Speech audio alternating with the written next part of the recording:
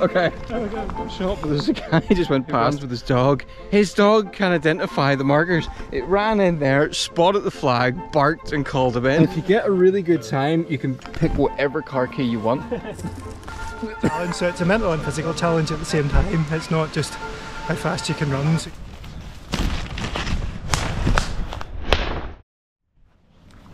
I am up at Crawfordsburn Country Park where I've been invited along to try orienteering. For a very long time I just thought that orienteering was something that like youth groups and scout groups did.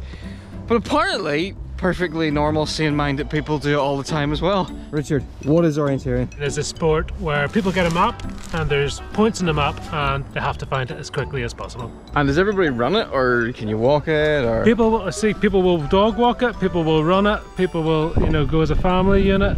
It's entirely up to you. But registration dogs? We've got a dibber for control points, a thumb compass or thumbus, and as I'm a novice, a responsible adult is going to show me how this works. I feel like I'm in Minority Report. so the compass is Ah. always flat on the map. Yeah, I can yeah. look at the compass on the map at the same Okay. time. And how do you avoid running straight into nettles? You usually don't. is uh, is this the start? I think you find the start. I think I find the start. Okay, Right. I'm winning already. There's a sign over there, it might help. Oh yes, Lagan Valley, Orienteers. I'm 5'11", so which of these should I pick? I think we'll go for the short for the first time. Which I say about my height. Uh, Have you brought your greenhouse with you? Is it? I've noticed already there's a big age range where a few kids away off. There's us, middle-aged. uh, There's a few older. slightly older than us. Yeah. We're just going to say down that we're off, but and we haven't registered because we're doing the filming. That's okay. Okay, so we don't need to write us down. Okay, you. Get But you can shout words of encouragement as we go. Well, go, go, boys. Good luck. Thank you. Let's go. Enjoy your map. Right. All right, let's go. Oh. Immediately stop. Okay. Oh, So it looks like you have to develop skills in carrying multiple things at once. Well, it makes it a bit harder when you carry the camera, Steve. Okay. Control description says fence east corner. Okay, we're about to overtake some serious looking competitors. Can we overtake these Can ones? we I don't overtake know. them? We might get past. We just managed to get by. Okay, so square fencey thing. And, oh, I think I see it. Round the back. Ah! Here we go. So to find these, dead. Right, that's one done. So we're on to the next one now. It's map facing north again. We're here. We're in this big field, which is up here, so it's up at the top. Beautiful meadow. You look like an antelope running through the Serengeti. the grasslands of Crawfordsburn. I'm out of here. So I think, oh, there we go. He's taking it seriously. He knows what he's doing. he knows what he's doing. Number two. Don't know if you just saw that in the drone shot, but there's a guy who just went past called Ben who runs with his dog. His dog can identify the markers. It ran in there, spotted the flag, barked and called him in. There is such a really wide diversity of people doing this. It's like all ages, all abilities. 100%. We're here, Three, back on diagonally Yeah. down. so we could just Up chop that the tree, corner off. probably, That direction. Follow that tree, chop the corner off this field. Oh, there it is.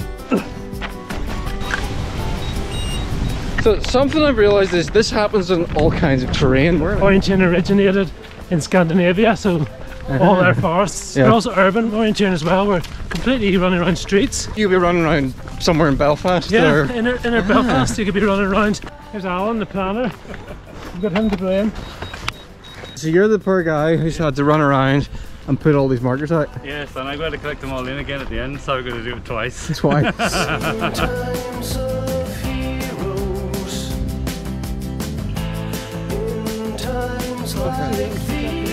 166 far corner of this field.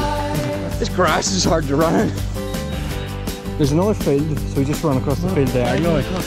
Okay. What I'm noticing is, um, unlike other races, where you just get your sort of your endorphin hit at the end, you get a little, you get a little hit every single time you yeah. you check off one of the points. As you say, every little checkpoint you get to, every control you find, it is a wee boost of energy for Yeah. you. Just way up there, Richard. the nettles. Past the nettles. Thank you very much. Giant Lego block. Don't hit that in your bare feet. Well, there's obviously a road here with a branch on it going that way. So which is there. Follow this path until we find the bend. Does he know something we don't? He's choosing to go through this. Yeah. Like over the top. Uh, yeah. I guess we'll stick stick, stick to, to our stick to our plan. Stick to our plan. Oh, someone else is going this way, so I assume our, must be we right. picked the right way. I was just gonna plow straight through the trees and assume I wouldn't get lost. Compass point the right direction to that open field. Yeah. North, north of my compass is north on the map. Yeah. So basically find something, that direction, head that way. Go that way. Okay. Yeah. Smells funny in here.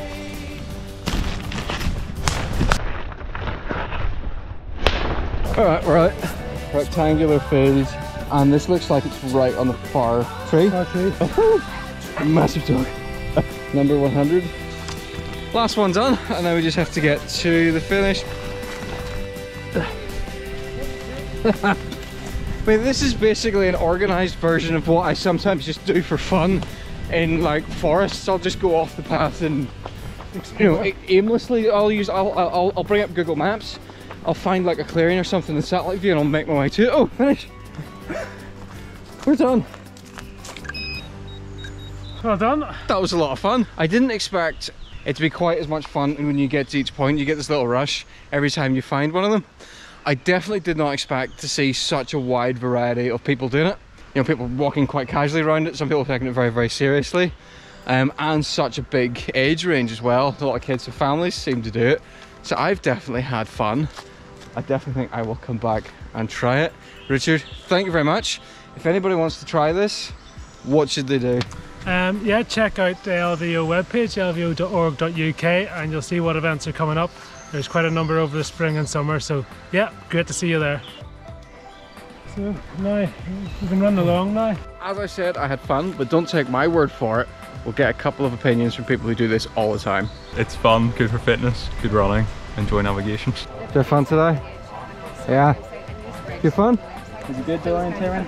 gets you out fresh air, opportunity to walk the dog, takes you interesting places. So it's a mental and physical challenge at the same time. It's not just how fast you can run, so you can compete with people who are a wee bit faster than you, as long as you don't make any mistakes.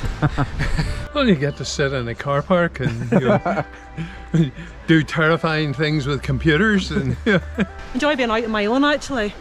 Get away from people. Yeah, that's probably not the idea of it, but that's what I like about it. It's just good fun. It's a good challenge. It's good crack, good people. They're getting really good at reading the maps and using our compasses.